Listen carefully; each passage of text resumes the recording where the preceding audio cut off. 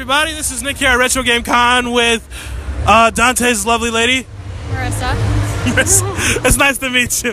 Um, uh, again, actually, right? Yeah. You were an astronaut. Yes, I was. That was awesome. I love that cosplay. Well, so, what are we today? I am Alice from Madness Return. I love that game. I don't play it, but I love it. I've played it several times through. You wanna you wanna do a 360 for us? Sure. I mean, I have a backpack on. What's that mean? It's just a backpack. Alice looks cool with a backpack, right? There's shit in there. Th- There's shit in there. The Mad Hatter's hat is in there, maybe. Yeah. That knife is awesome. Thank you. Did you make that? Uh, my boyfriend helped me with it. That is awesome. What is that? Styrofoam? Nope, it's actually wood. Is that wood? Yeah, it's wood. Oh my god! That is a real weapon, dude! That is awesome. Let me see that. Can I see? Yeah, that's real wood. Yeah. That is real wood. Oh my god, that is awesome. So, why Alice? I don't know. She's just. I really love the creepy aspect of the game.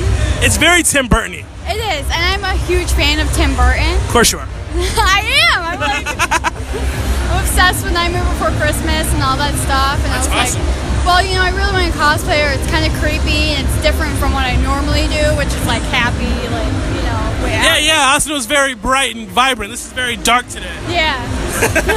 So how are you enjoying the con so far? Uh, it's fun. This is the second time I've been here, um, and it's a lot bigger than it was last time I Oh, came. I don't even feel like we're in the same room. That's I know. crazy.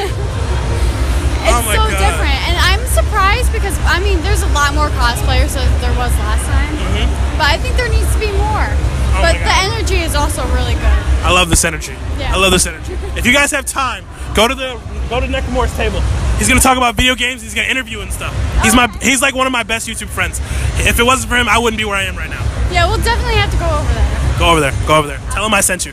okay, well, All right. Okay. So, one last question. It's it's very silly. What is your favorite Alice in Wonderland moment?